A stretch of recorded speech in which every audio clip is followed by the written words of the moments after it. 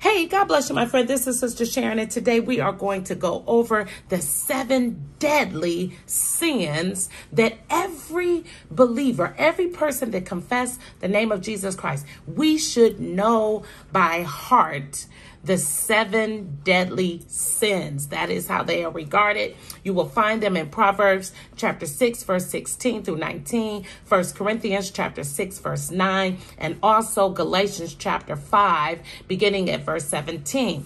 One is lust. It is an unquenchable, unsatiable desire for sexual uh, expression. Um, number two is gluttony. Friends, a lot of us don't understand that having a unquenchable desire for food and and and know this and understand not everyone that practice the sin of gluttony is overweight um, we we have this thought that people who are obese, we know that they struggle with that. But there are people who look like a size five, six who do overeat. They make themselves throw it up. So we do have people who uh, indulge in gluttony, but they are hiding it. And friends, this is absolutely something that can harm you. Uh, many people um, who are bulimic have these issues with food, but I want to encourage you, we can overcome. There is a fight for most of us with food. I know I fight with food. Me and fi- food be fighting every day. It's certain things I'm just not having it. I ain't having it because I know it is not good for my body. One of my uh, guilty pleasures, and I, I will not indulge it often, is ice cream. Oh, give me some French vanilla Oh, and and we won't even mention the Oreo Blizzard at McDonald's. Man, that this this I shouldn't even be talking about this, my friends. that ice cream is so good, but it is something you cannot overindulge.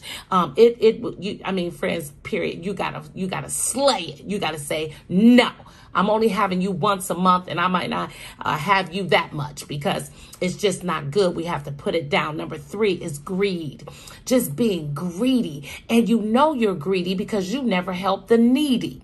That is one way you know you are a greedy person, you are selfish and self serving because you're never in a mind to help people. You're not even consistent. You're just here or there, but you really don't care about anyone else except for yourself. And friends, that is not the spirit that we should have as followers of Jesus Christ.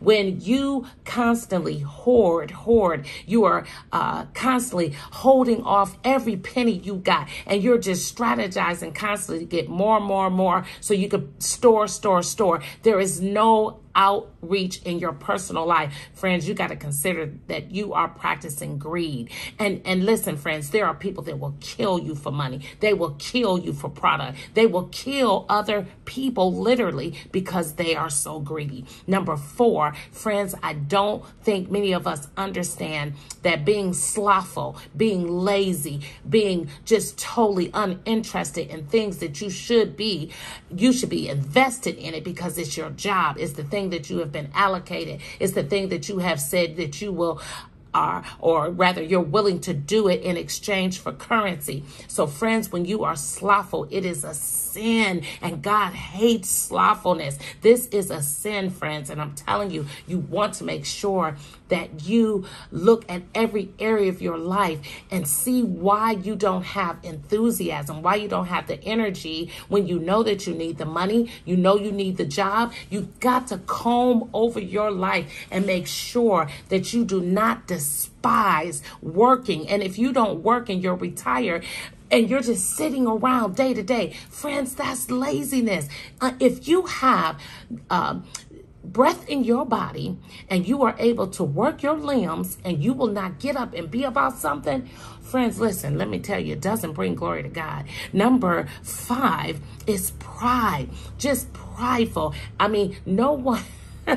friends, I tell you, no one could get around the whole idea that as human beings, we are self serving and we are self always preserving.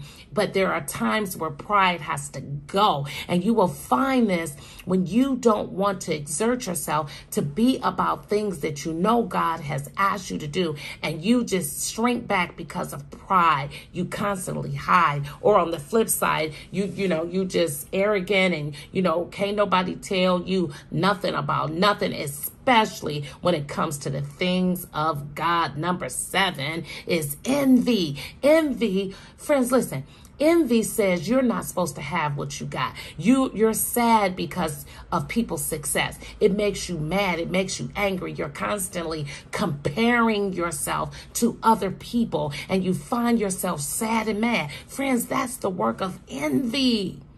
Envy says you shouldn't have it. Jealousy says, why don't I have it?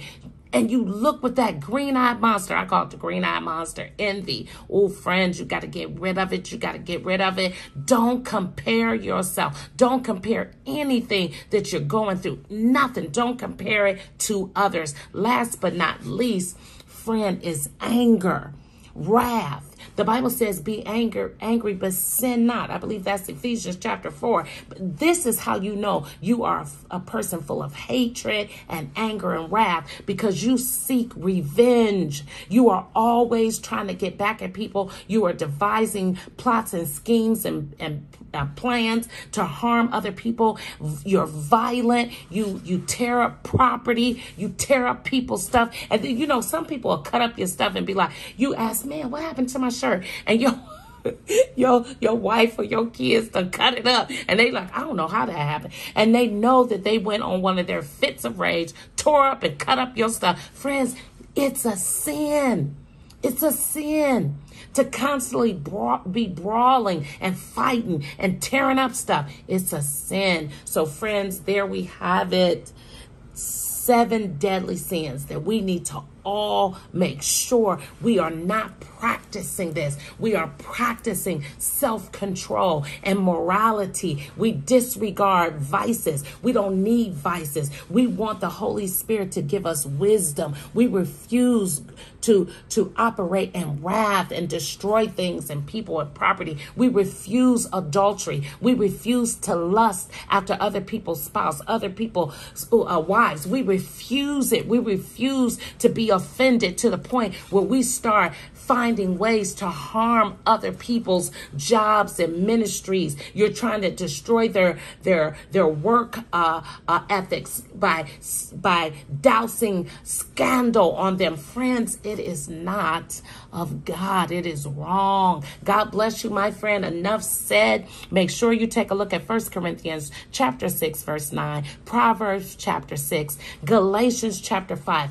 Every believer needs to know that particular chapter. It is it is so telling of what we know we need to get rid of to honor our lord and savior's death burial and resurrection for our sin to the glory of god. God bless friends. Till next time